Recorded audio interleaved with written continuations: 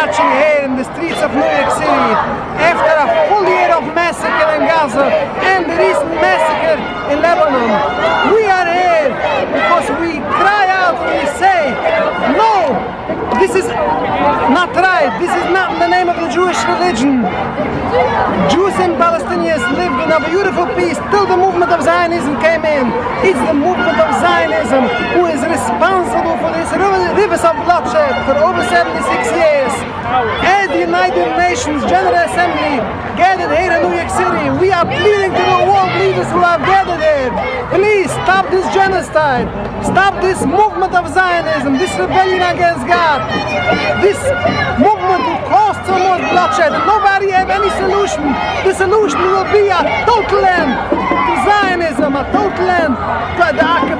of Palestine. Then we can join again together the peace with the Palestinian people that did exist prior to the movement of Zionism.